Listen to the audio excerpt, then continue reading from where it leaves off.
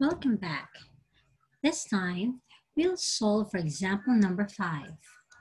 That's 1 over x squared plus x plus 1 equals 4 over x squared plus x.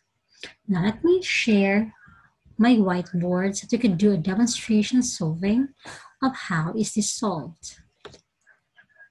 In example number 5, Remember that's 1 over x squared plus x plus 1 equals 4 over x squared plus x.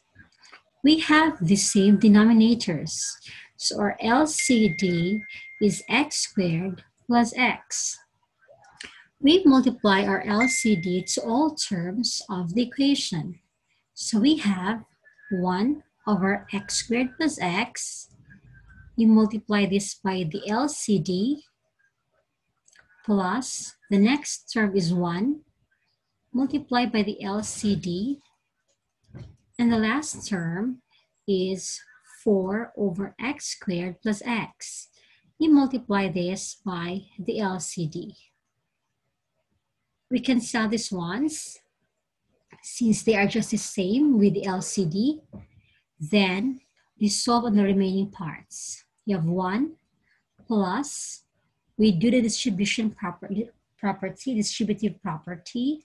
So we have x squared plus x. The other side, we are left with 4.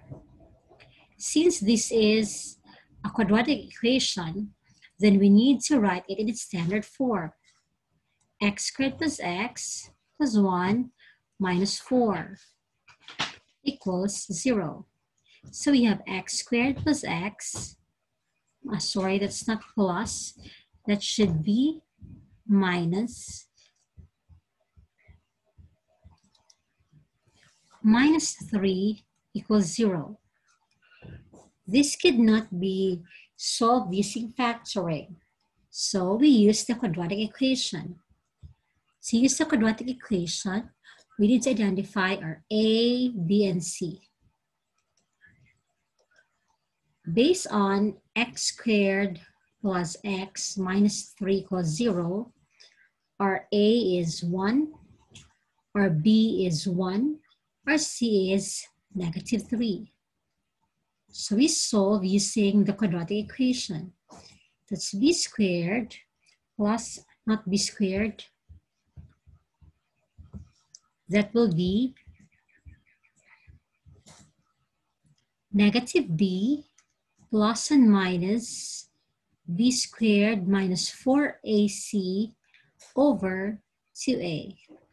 So we have negative 1 plus and minus negative 1 squared minus 4 times a times c over 2a. So we have negative 1 plus and minus. what, Negative 1 squared is 1 Negative 4 times 1 is negative 4 times negative 3, it's positive 12.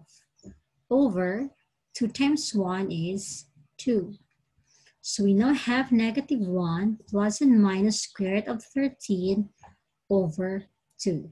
That's the value for our x. So again, the values of our x could be negative 1 plus square root of 13 over 2, or it can be negative 1 minus square root of 13 over, not 12, over 2. These are the two roots of our equation.